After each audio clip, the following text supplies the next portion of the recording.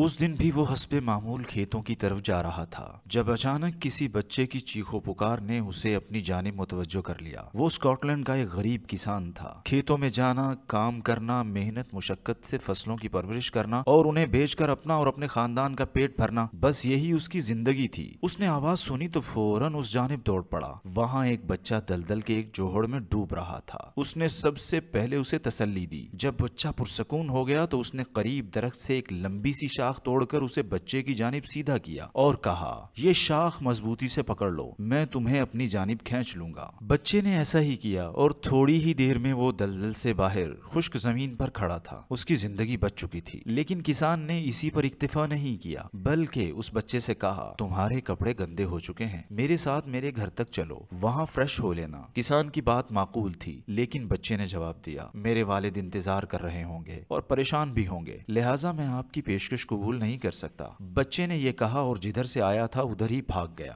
अगली ही सुबह किसान उठा और खेतों की जानब जाने लगा तो उसने खूबसूरत बग्घी को अपने घर की जानिब आते देखा। बग्घी उसके मकान के पास आकर रुकी तो उसमें से एक बारोब शख्स नोदार हुआ। उसने किसान से अपना तारुफ करवाते हुए कहा, कल आपने जिस बच्चे की जान बचाई थी, मैं उस बच्चे का बाप हूँ। आपका शुक्रिया। बताएँ, मैं आपकी क्या खिदमत कर सकता हूँ? गरीब किसान ने जवाब दिया, आपकी तशरीफ़ आवरी का शुक्रिया। लेकिन मुझे किसी सिले की ज़रूरत नहीं, क्योंकि मेरी जगह कोई भी होता, वो यही करता। रईस ने बहुत इसरार किया, लेकिन किसान टस से मस न हुआ। मायूस होकर वो रईस जाने ही वाला था कि अचानक उसकी नज़र एक लड़के पर पड़ी। उसकी आँखों में एक चमक सी पैदा हो गई। वो एक लम्हे के लिए रुका। किसान के करीब आया। उसकी आँखों में आँखें डालकर पूछने लगा, क्या ये आपका बेटा है? किसान ने एक कदम दूर खड़े बेटे को बाजू की मदद से बगल में किया और मोहब्बत से उसका सर सहलाते हुए जवाब दिया, जी, ये मेरा ही बेटा है। किसान की बात सुनकर उसने सर हिलाया और कहने लगा, एक काम करते हैं, तुम्हारा बेटा मेरे साथ लंदन जाएगा और उसी स्कूल में पढ़ेगा जिसमें मेरा वो बेटा पढ़ता है जिसे कल आपने बचाया था। किसान ने अपने बेटे की मोहब्बत में पेशकश कबूल कर ली और उसे लंदन भेज दिया। वो बच्चा वहाँ जाकर पढ़ने लगा और उसने इतनी मेहनत की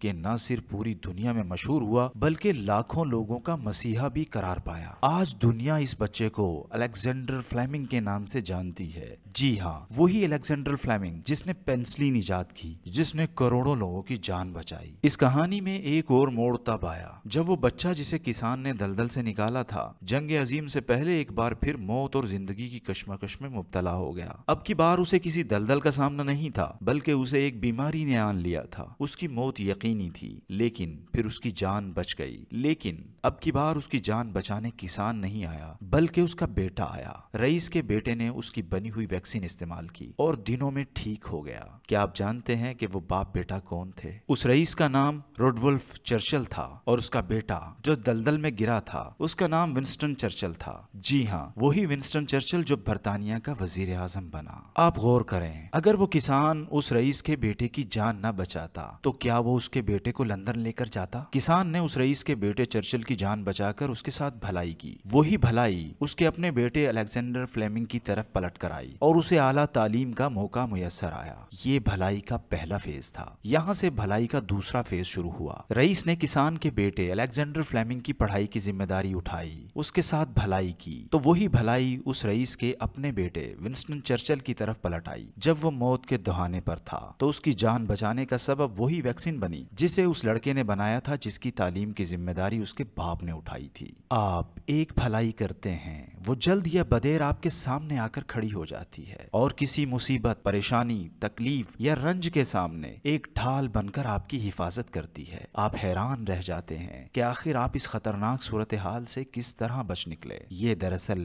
भलाई का वो चक्कर होता है जो घूम कर आपके सामने आ जाता है। बाज औकात नेकी करते हुए वो बहुत छोटी, बहुत मामूली लगती है, लेकिन ऐसा नहीं होता। ये सौ गुना ताकत के साथ वापस पलटती है और बाज औकात बुराई करते हुए भी बुराई बहुत छोटी मालूम होती है। लेकिन वो भी सौ गुना ताकत के साथ वापस पलटती है।